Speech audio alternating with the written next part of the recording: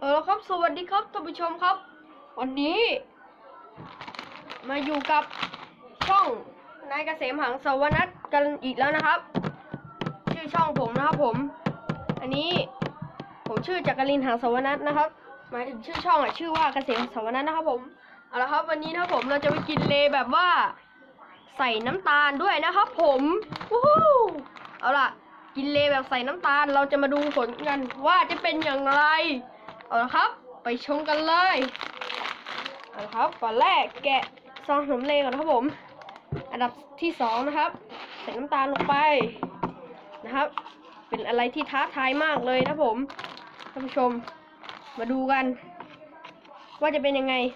บอกเลยนะครับผมว่าไม่เป็นโรคเบาหวานหรอก มา พร้อมแล้วก่อนที่จะกินนะครับ ใส่ให้เยอะๆหน่อย อือหือ บอกเลยว่า หวานอร่อยแน่นอนนะครับ ยิ่งกว่าน้ำกระเจี๊ยบอีกแน่นอน ถ้าใครพูดทะลึ่งเป็นกระจงกระเจี๊ยบอะไรไม่เอานะครับผมเอาละครับผมท่านผู้ชม อันดับต่อไป เราใส่น้ำตาลไปแล้วนะครับผม อันดับต่อไป มากินกันเลยนะครับผมอืมอร่อยรสชาติมันเป็นแบบว่ารสชาติมันฝรั่งผสมกับ รสชาติน้ำตาลนะครับผม มันมีรสชาติหวาน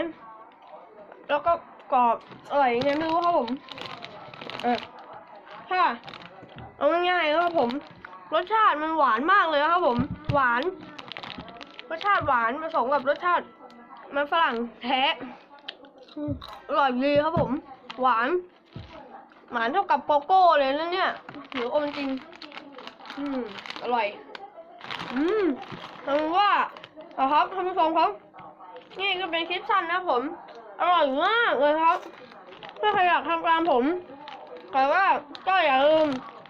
กด subscribe กันก่อนนะครับ กดกระดิ่งติดตามผมด้วยครับชวนคุณครูที่อื่น หรือคุณครูในโรงเรียนของผมก็ได้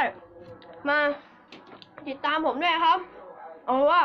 ไปก่อนครับบ๊ายบายครับ สวัสดีครับ อืม อร่อยมากเลยอร่อย